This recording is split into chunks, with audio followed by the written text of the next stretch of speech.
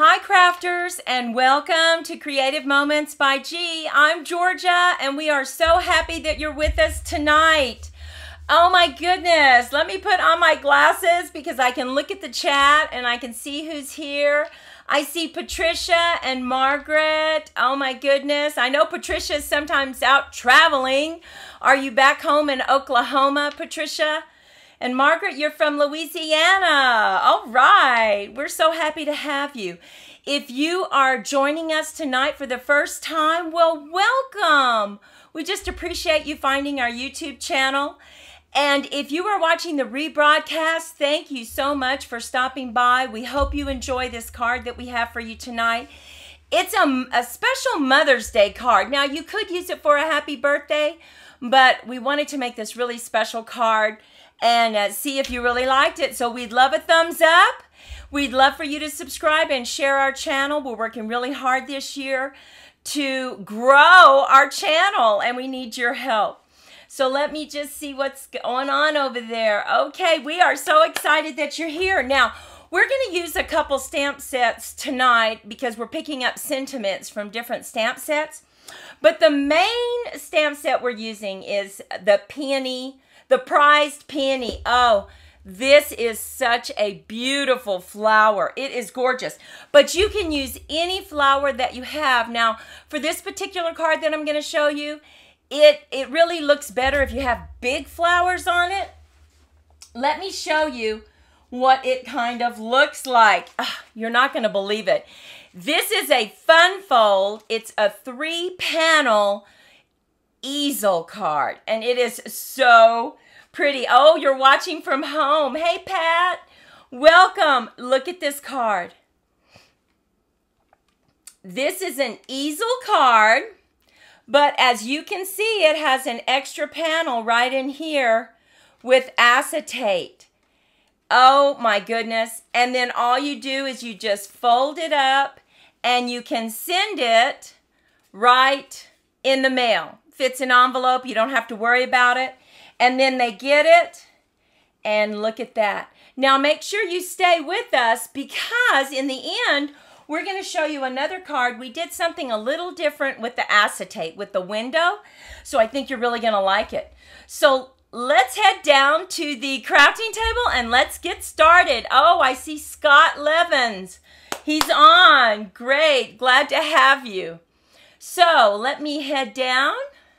Okay, so we're going to go ahead and put down a mat. Now, this is such an easy card. I have already pre-cut this paper. And remember, I want to remind you that all the measurements will be listed over on creativemomentsbyg.com so you don't have to take it down, even though I'm going to tell you what they are. That way you can just sit back and relax. Oh, hey, Gloria Levin, so happy that you could join us tonight. That is my brother and sister-in-law, and we're just so happy to have them with us. So, the first thing you're going to do is your base card is going to be 8.5 by 5.5, and you're going to score it on the long side. So you're going to put it in your paper, in your trimmer, just like this. And we're going to score at half an inch and then five inches. And this is the way it folds. This is so easy. You're going to go home tonight and you're going to make two or three of them. And we are simply going to fold this back. Now, use your bone folder to go ahead and, if I can find mine, and if, you know, it's so funny, I put it someplace safe so I wouldn't lose it and it's not, oh, there it is. So go ahead and use your bone folder to reinforce that crease right there. And really, this becomes your base card right here. This is your base card. Looks a little different. And this is going to be the front of your card. So this is simply cut at five and five and a half. And then once again, scored on the long side at a half an inch. Go ahead and use that bone folder and give it a really good reinforcement so that it lays flat. Hey, Gloria Wolf. Hey, Glow. So happy that you're with us tonight. Mary, so happy you made it. Now, the only other couple things you need are you need some acetate. So we have two pieces of acetate, kind of hard to see. And the two pieces of acetate are four by five and three eighths, the larger one. And then for the window in the front, we simply do a four and a half by three and a half. So now you will need something for the back panel. You don't have to put anything on the back panel. Let me show you this one. We didn't put anything right here, but it really looks pretty when you have something. So I'm going to show you how to go ahead and add that. And I cut several pieces of paper because I'm not really sure what I want to use. So this back strip is simply five and a fourth by four and a fourth. But the very first thing we need to do is we need to go ahead and let's cut our window. Now remember, this is the front panel. So you can cut with an oval, you could cut with a rectangle, a square, any shape that you want. But we're going to go ahead and use a rectangle. And we're going to get this just lined up just the way we want it. Now I'm leaving a little bit of room because I have a design that I'm going to put right up here. So let's go ahead and just drop that just a little bit. In fact, I'm going to give you a quick sneak peek at it. So that's what it's going to look like. So we're just going to take this aside. I'm going to get this lined up and I'm just going to put a piece of tape there. Now I'm simply going to bring in my trimmer and we'll get our window cut out. That just is very quick. Now I have cut out a couple frames because I think that would be very pretty to use a frame on this. So let's go ahead. And there we have it. Perfect. So we're just going to put that to the side. And just looking to see. Okay, so the next thing I want us to do is I want us to go ahead and let's see. We're going to move this to the front, this tab, because this is where we're going to lay our acetate, our larger piece of acetate is going to go right here. Now, I will remind you that acetate is very delicate. So you want to be careful with it. You don't want to accidentally put your nail in it because it'll make a, a, a, line in it. So be very careful. And we are going to use tear and tape and we are simply going to adhere our acetate to the front of our card. So let's go ahead and get our tear and tape out. Once we have everything put together, we'll just go ahead and get this decorated. Now we have cut out some flowers, but I want to show you how I used blends to color these flowers. So, so easy. Now I'm just going to crease that with my fingernail and then I'm going to use my take your pick tool and I will just go ahead and take that right off because I want two pieces on there. So let's just get that first piece off. Now we're going to come back in with another piece. And this is right where we're going to lay our acetate, our first piece. Go to the edge. Use your fingernail really to get good contact right there. Use your take your pick tool again. And now we are simply going to lay this down flat. Just kind of make sure that you have it lined up just perfectly. So I'm just going to get that right there. Very carefully. Okay. Now let's see. Let's just make sure that's right where I want it. And it really isn't. I need to scoot it over just a little bit. There it is, right there. Okay. So that is our inside panel that we're going to have.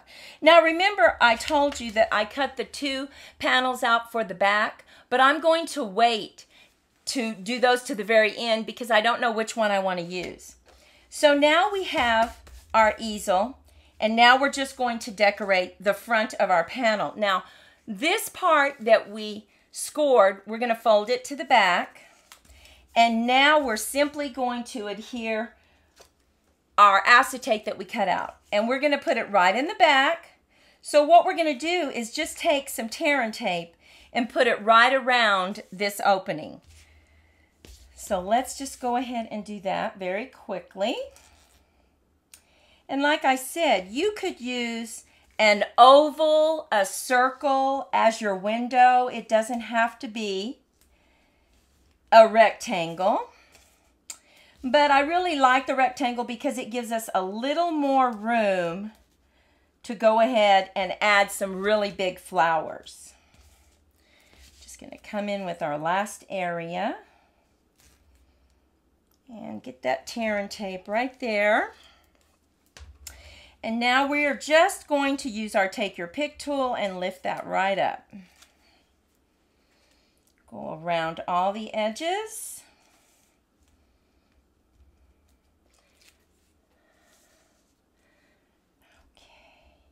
And we have picked some beautiful colors for our flowers tonight, for our peonies.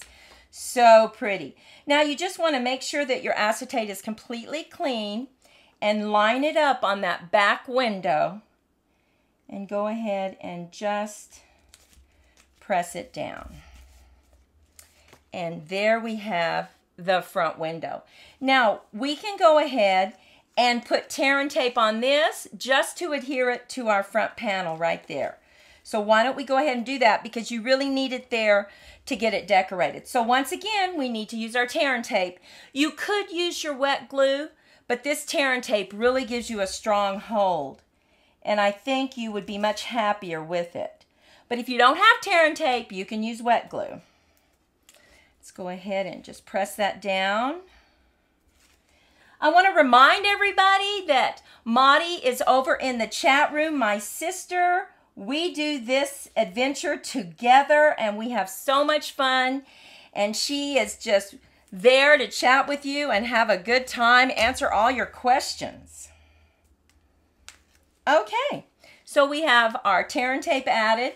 Now we need to add this lip right here to this part of the card. So I'm going to go ahead and turn it sideways just so I can get it lined up perfectly. Just make sure. Okay. And there we have it. You can use that bone folder to go ahead and reinforce it and give you a really good crease.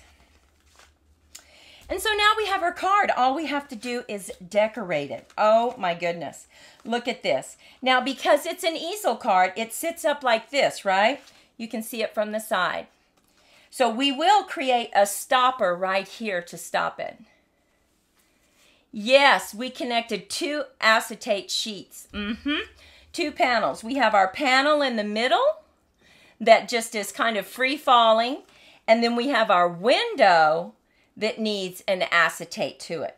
Very simple folds though. I love this. We, we've seen a couple of these and I'm like, oh my goodness, this is so easy. Our crafting friends are gonna love this. So we're gonna go ahead and I wanna show you now how beautifully this stamp stamps. So let's go ahead and bring in our early espresso.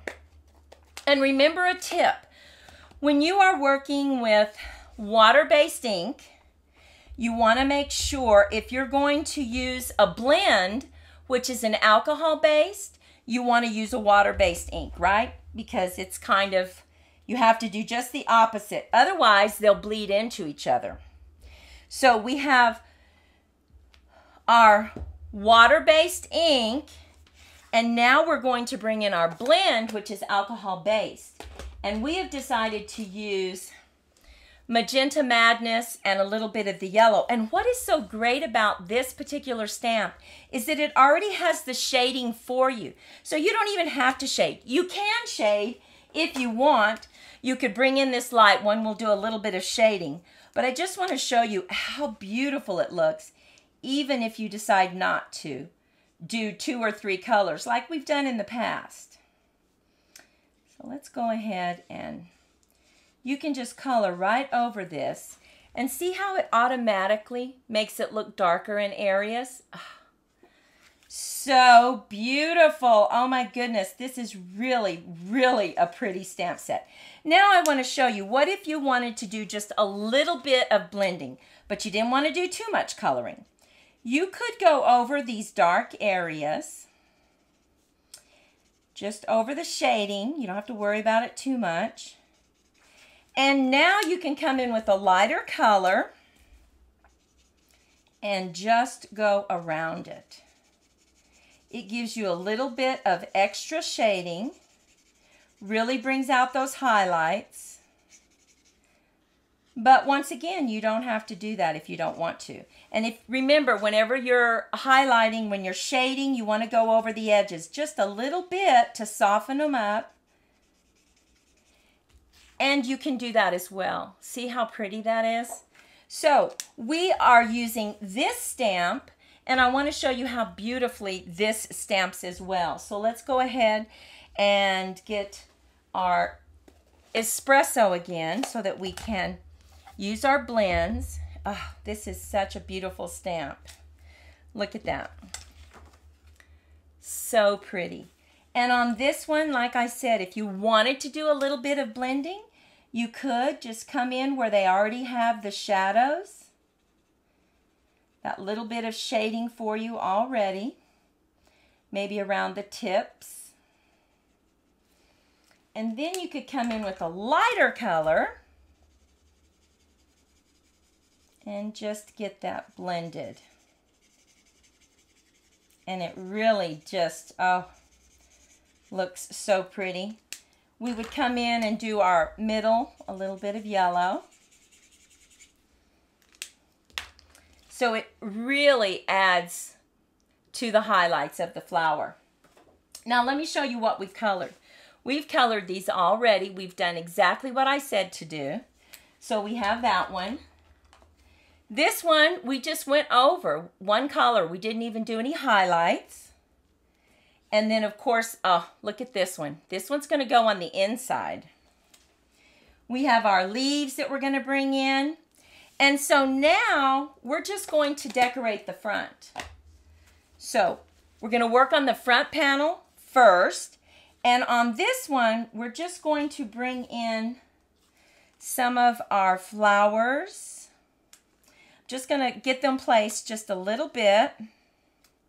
Now, I will say that the acetate that uh, we're using tonight is not heat resistant.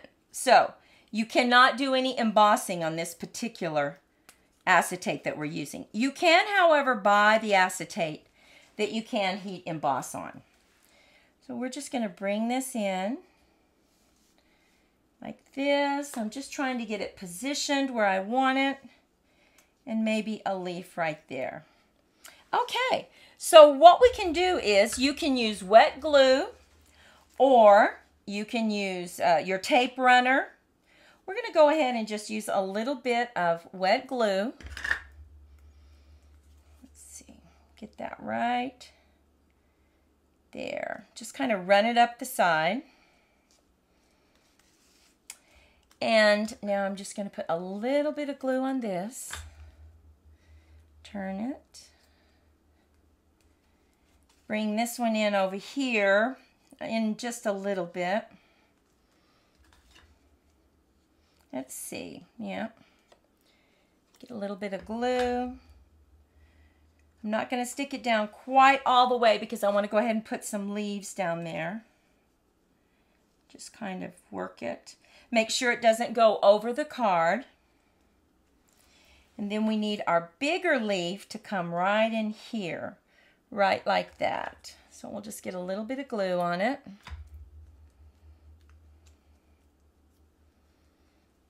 Okay. Now, here's the outside of it. Let's go ahead and put that beautiful design. Now, we did this in our last video that we just created. We did a little bit of paper piecing. Oh my goodness, and it was so pretty. So we're going to go ahead and lay down this Magenta Madness and then we're just going to bring in the cutouts that were created when we did this. So pretty.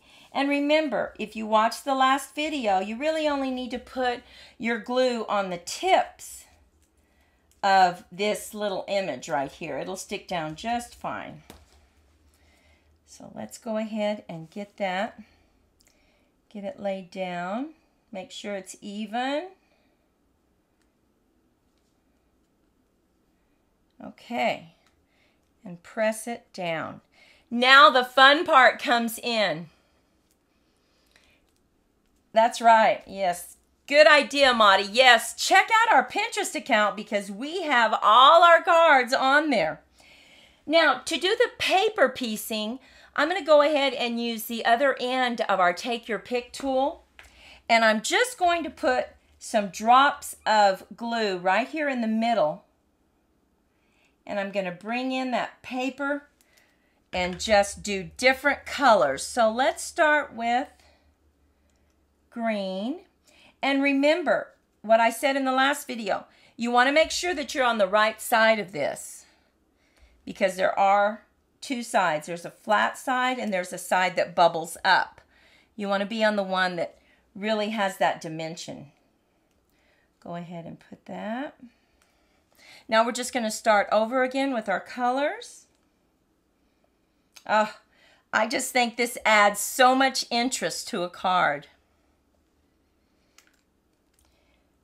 Have you used paper piecing before on some of your cards? Okay, so we have that one, and now we need to bring in the Magenta Madness again. Okay.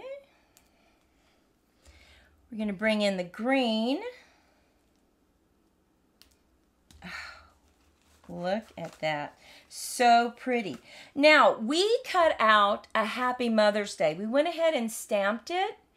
And then, let's see, we went ahead and stamped it. And then we just gave it a background. So we're going to go ahead and just put that right there. But we're going to set it up on dimensionals.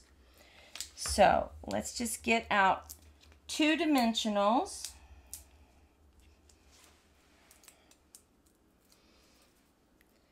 And get that right in the corner. And now when you decorate the inside of your panels, right here, this one, you really need to see how it's going to look in this window. So we're going to go ahead and just kind of slip this back here to see where we want it. And I think about right there. Let me make sure that, yep, but I need to cut part of this branch off. So I'm just going to get my scissors and get part of that cut off. And let's just go through the motion again to make sure, yes, that's exactly where we want it. So we're just going to put a little bit of glue on here.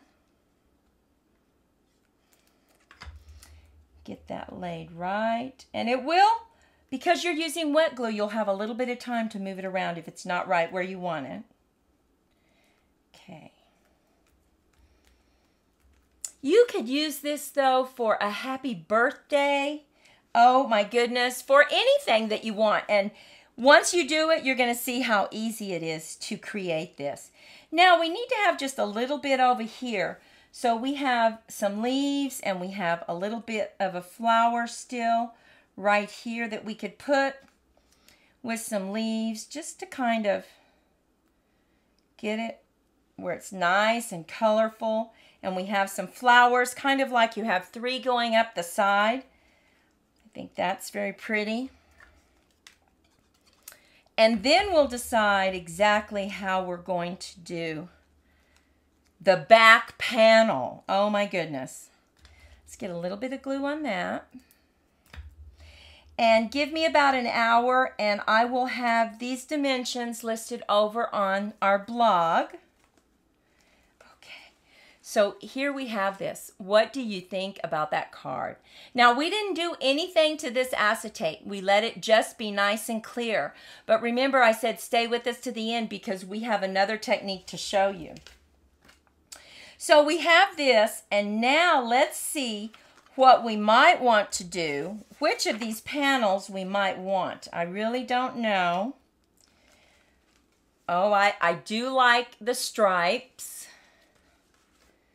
Let's see. But look at this beautiful paper. Do you remember this paper, this DSP? Oh my goodness, it has that Magenta Madness, has a little bit of gold in it. Let's see what that might look like.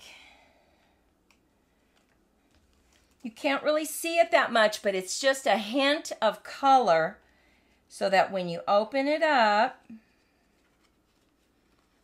you can see it. So... I don't know. I think the gold might take away from this. So I'm going to go ahead and just put this one down with a little bit of glue. So you just open that fold up, get it laid down. And now the only thing we have left to do is create our little stopper that goes right here. And that's so easy to create. Let me show you how to do that. To begin with, we have a punch we're going to use. This Banner's Pick-a-Punch is wonderful. And it actually cuts paper in one inch, three-fourths inch, and one inch, in a half an inch. So what we've done is we simply cut our strips four inches in length. We cut one inch, three-fourths, and a half. And all we have to do is simply cut the ending on it. So we're going to go ahead and open this up and just push this right into our punch. Right where we need it. Oh, I just love it. Of course, you can do it yourself, but I love how this gets it right every time. It's so pretty. So we have that one. Now this one falls right into the groove for the 3 fourths inch. Go ahead and get that where it needs to be. That one, and now the last one that we went ahead and stamped the sentiment. Let's go ahead. Now I'm going to go ahead and get this laid, let's see, uh, with dimensionals. So we have our little bits right there. And I'm going to get my dimensionals and get that laid down. So we'll start with our big green one and we will simply lay down our flirty flamingo. So let's go ahead and get some dimensionals. And why it's important to give you some height on the stopper right here is that's what holds your easel card and helps it stand up. So you want to make sure you know, that you do use those dimensionals because that will help you stand up your card. Okay, now we're going to use uh, some dimensionals for the back of this one.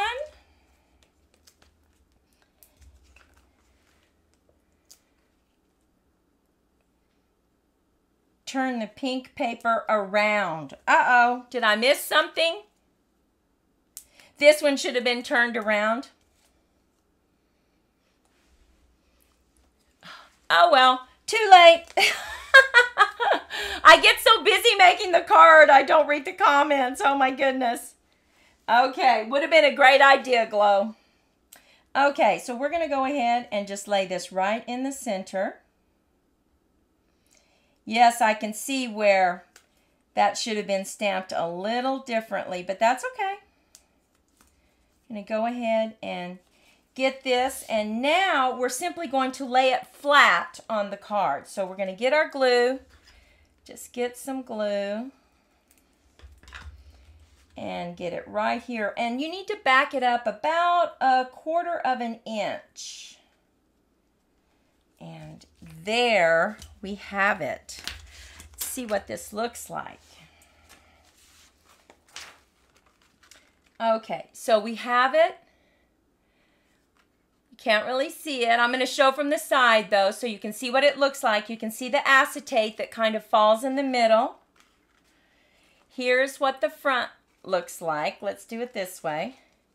Here's what the front looks like. Oh, so pretty. I love that. and then when you lay it flat and you set it up on your desk, of course, that acetate right in the middle just lays exactly where it's supposed to. And this stop gap right here really works well. So we have this one that we didn't decorate the back at all, right? So we just left it blank, but it's still very pretty. And it works the same way. So uh, Monty said, remember, make where they can see it. So Here you can kind of see how it looks, right? I'm going to go ahead and stand this one up. Now I want to show you another trick that I tried this afternoon. Now, I'm not sure if we like it all that much, but we took the acetate and we actually ran it through a dry embossed folder. And I don't know if, yes, you can see it. Yeah. And just to kind of give it some texture. And I think it's pretty, but I think you can't see the flowers quite as well. So here are our cards. You can see them sitting up. This is kind of what they look like right there. And you know, Glow, it is a great fold because it's so easy, right? So which one is your favorite? Here we have the pink one with these beautiful flowers. And we did dry emboss this. Then we have the one that we created tonight this one. I really love this paper piecing into this image. It is so much fun. And then we have the one that we didn't really put anything on the back, but so pretty and so vibrant. Let us know which is your favorite.